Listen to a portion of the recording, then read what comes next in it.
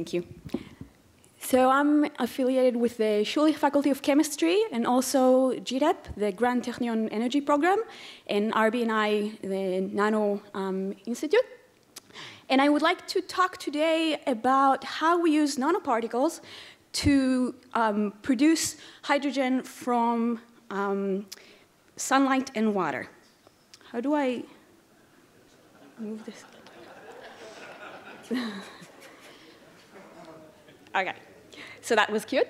Um, so basically, photocatalysis has been around for four decades now. The concept is very simple and kind of similar to what we are doing with solar cells. We have a semiconductor that absorbs the light, produces charges, charge carriers, um, instead of pulling them away and producing electricity, we use those charge carriers to promote a chemical reaction. And in particular, we're interested in water splitting because then we can have hydrogen, which we all know is really useful. The problem is that this very, very simplistic cartoon does not tell the full story we have a lot of requirements when it comes to choosing the appropriate semiconductor. Um, requirements on the band gap, it needs to be active in the visible, but the energy gap needs to be wider than what's required for splitting water. You want a particular um, location compared to the vacuum. Uh, you want the material to be cheap, you want it to be stable, so it's really, really hard to find an appropriate semiconductor. And there are also very challenging things when it comes to the mechanism of the process. We're producing charge carriers, negative and positive holes and electrons. These really want to combine. When they combine, we lose the energy. So what people typically did in the past was to grow a metal catalyst on the semiconductor. The assumption was that the electrons will go into the metal, you form charge separation, and um, the metal is also a catalyst. The problem, what we know now, is that even though the electrons go into the metal, they do not stay there forever. They go back to the semiconductor and we lose them. And the window of time that we have to promote the chemical reaction is um, not sufficient. So I come from the field of nanoparticles, in particular colloidal nanoparticles, and um, we already heard a beautiful talk about what we can do with nanostructuring. The nice thing about nano is that we're in the size region between atoms and a chunk of material. And in this size region, the properties of the material start to change as respect to the size and also the shape. So the community now can form a nice gallery of different semiconductors, metal, metal oxides.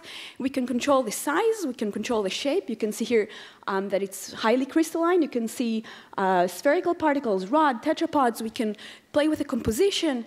And what my lab is doing, we're actually sculpting on the nanoscale.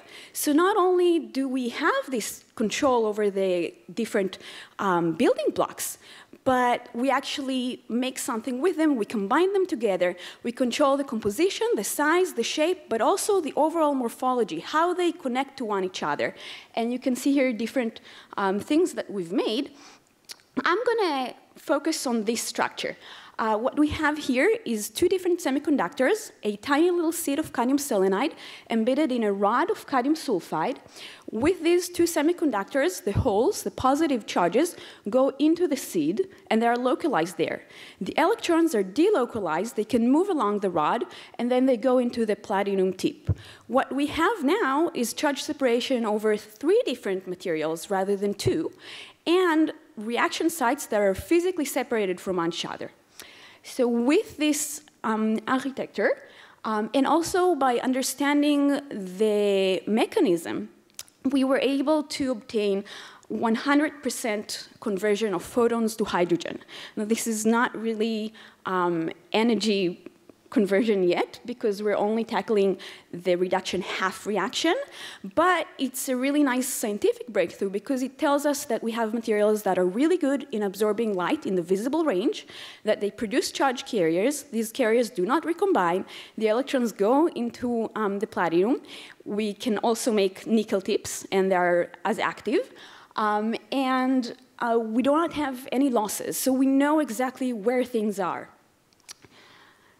So um, this is the TEM. You can see how the particles look like um, for real, not to just uh, stay with cartoons. And um, let me show you a nice uh, video that shows a benefit of these things. What you see here is water with our particles. You cannot see the particles, they're too small, but you can see that upon illumination, we get a lot of bubbles of hydrogen.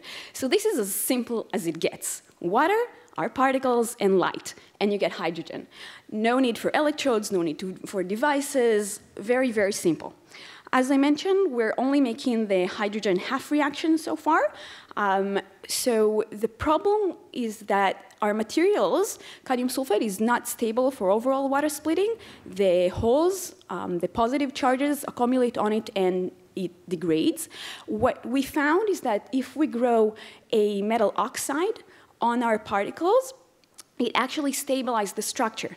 And we're doing that by doing the same thing, photocatalysis, instead of using the positive charges to oxidize water, we oxidize the metal cation, and then we have a deposition of a metal oxide, and with the metal oxide, the structure is actually stable uh, for overall uh, water splitting. We have some initial results uh, for all um, full, real overall water splitting, and I hope that if you'll invite me next year, I'll be able to share some real breakthroughs on that front.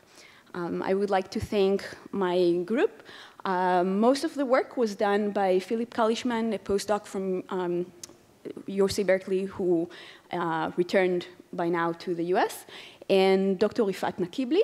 Um, and I want to thank again um, funding the GTEP, RBNI, uh, the Technion, and also the I-CORE that um, actually made all this possible. And thank you for your attention.